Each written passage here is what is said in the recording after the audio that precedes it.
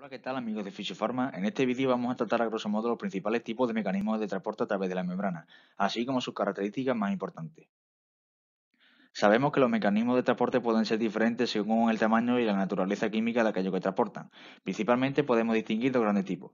El transporte activo, que va en contra de gradiente y consume ATP, y el transporte pasivo, a favor de gradiente y por tanto sin gastos de ATP. Comencemos por este último.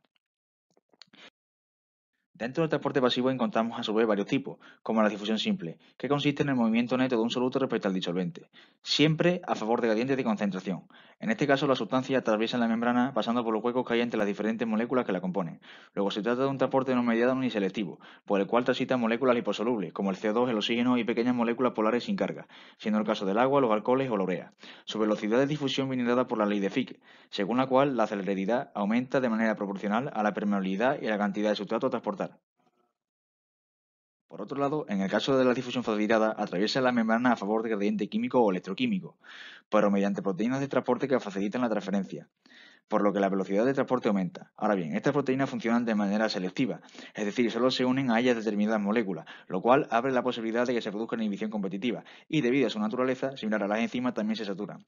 La velocidad de reacción la determina la ecuación de Michaelis-Menten, según la cual, a mayor número de transportadores, mayor velocidad, pues menor es la saturación.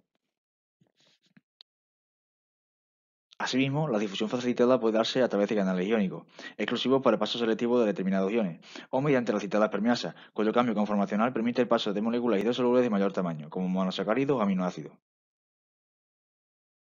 Por último, cabe destacar la presencia de canales de agua o gracias a los cuales se produce la difusión de agua de un lado a otro de la membrana a favor de gradientes motivos.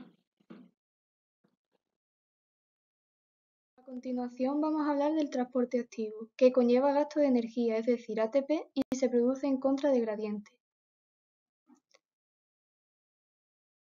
Sus características comunes son que es un transporte mediado por proteínas, es un transporte específico y competitivo y que la velocidad de transporte es saturable. En cuanto a las características específicas, tenemos que requiere energía y que transporta moléculas en contra de gradiente. Hay dos tipos de transporte activo. El transporte activo primario es saturable, es un transporte mediado por bombas iónicas o ATP-ASA. Se transportan moléculas en contra de gradiente electroquímico, mantiene la simetría iónica y requiere energía por hidrólisis directa del ATP. Aquí tenemos algunos ejemplos de ATP-ASA. Nos centraremos en la ósmosis de potasio, porque es la más importante, ya que se encuentra en la membrana plasmática de casi todas las células humanas y es común en la vida celular.